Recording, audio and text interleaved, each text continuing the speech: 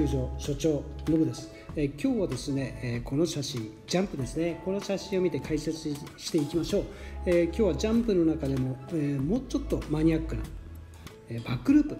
バックループについてねお話ししていきましょう、えこのバックループ私がなぜバックループやりましょうって推奨するのか。それはねなぜかというとかっこいいからです、えただ単にそうです。えっとねそうなんですね、これね、結構昔、フォワードループもちゃんと練習してたんだけど、やっぱりね、バックループなんですよね。うん、フォワードループってね、私、本当にいまいちそんなにかっこよくないんだよね。まあ、日本の場合ね、ほら、あのヨーロッパみたいにすごい超ハイジャンプしてるから、そこで前から回るっていうのは、これすごいかっこいいんだけど、なかなかね、あれ難しいんですよ。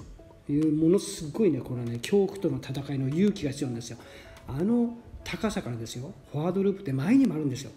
もう目線で見えるんですよ、前って必ず。見える方に待つから、バンジージャンプと一緒ですよ。でそこが見えるのにそこに飛び込んでるかしらその恐怖って言ったらね、これね、なかなか日本人だとね、結構ね、こう何、えー突き破るというのはなかなか難しいかもしれない。うん、日本人ってほら、リスク回避すごい上手だから、えー危険なことはやらないっていうね、結構そういう状態多いんですよ。外人はね、そこにわざわざ行っちゃうっていうところあるんだけど、日本人はそれね、すごい上手なの。いい面ですよね。ここんな危険なことはリスクとして受け入れてやるのやめようっていうねこれねうまいんですよね。だからねだからいろんな自然条件と台風があったり地震があったりとかそういうことをずっとこうね日本って受けてきたわけだからそのねリスクを回避するっていうのが続く以上なんですよ。だから準備をしたりとかさ保険に入ったりとかって日本で人大好きでしょ。あれはもうそういうことがあるんですよねきっとね。今までずっとね日本に生きてきてね地震だったりとか津波だったりとかさ雷だったりとか大雪だったり大雨だとか台風とかってもうそういう地域じゃないですか。なんかそういうのってすごい上手だから日本人って多分ね上手じゃない。だから私もねフォワードループはできるんだけど高く上がってっからとかって怖くてできないんですよ。ただバックループってね後ろに回るからなんだろうジャンプして上がった時にふっとこうこうそっちに回る時そんなに恐怖心ないんだよね。でそんなに綺麗にあのなんだろう、うん、そうそう。だから私はね進めるの。あとはやっぱりねこのバックループってできる人ってそんないないんですよ。確率からすると。まあ多分ワードループが70%ぐらいの確率で結構みんなできてますよっていう人がいたら多分バックループって10%、うん、10%ぐらいしかないですよ。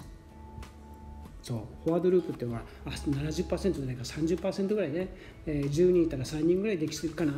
バックループって10人いたら1人か1人できるかできないかなんですよ。着地までですよ。バックループチャレンジするのは結構誰でもできるけど着地までできるんですよ。だからねそんだけ目立つんですよ。これを手に入れてしまえば。ね。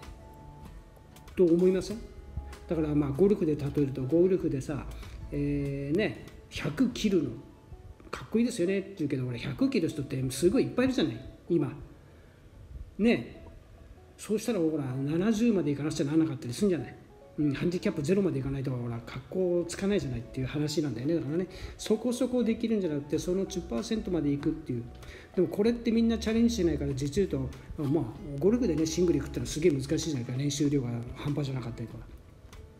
ただバックループウィンドに関してのバックループに関してはこれフォワードと同じ数だけの練習量からすれば実言うとできるんですよ。私これ体験上言います。実言うともうちょっと簡単かもしれない。フォワードのねフォワードループやる恐怖を克服するよりバックループで確率ね着地する確率の方が多分ねあの簡単です。同じ練習量だったら多分ね同じ練習量少ないぐらいでできるかもしれない。そのくらい結構簡単なんですよね。うん。だからこれはだから、まあ、話がだいぶ長くなっちゃったね。この写真を見てねじゃあ話をしましょう。これね、えーこの写真これバックループなんですよ。でもこういう形の人が結構多いんですね。これなぜかというどういうことかっていうとここで回転が止まっちゃうんですよ。ジャンプしました。ここまで行きました。ねここまで回りました。あとこうやって回るんだけどここで止まっちゃうんですよね。ここで止まっちゃうんですよこれでこのままこうやって落ちるんですよ背中から。っていう人結構多いんですよ。これなぜ止まってしまうかってこれ原因があるんですよ。これ止まってしまう原因ねこれどういうことかっていうとこれねセル引き込みすぎ。まあ引き込むのはいんですよ。こうやって引き込んでるじゃないですか。風がこうやってきて引き込んでるからどっちかっていうとこれこっちへ回るんじゃなくてこのまま風入りすぎちゃってこっち行っちゃうんですよ。だから風入れすぎると風足も行っちゃうんだよね。そう。途中まで行けばいいんですよこれ。ここまで。ここまで来たら今度はこれをね実とねこれね、まあ、やり方があるんだけどねこの高さだったらそのやり方の方が本当はいいんだよね。そうすると結構回りきる。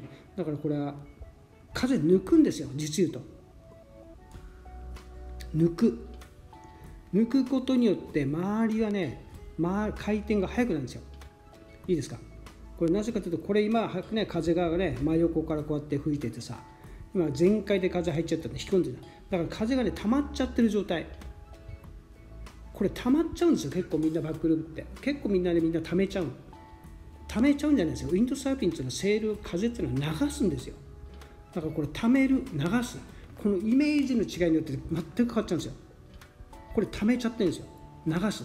流さないと推進力にならないんでねこれね。分かります？これは飛行機の羽の翼断面の話をよくするんだけどね。風が流れないと揚力にもならなければ推進力もならないんでね。だからこれ溜めちゃってるんですよ。溜めちゃうからここで止まっちゃう。でここで、えー、開くんですよね。これ開き方。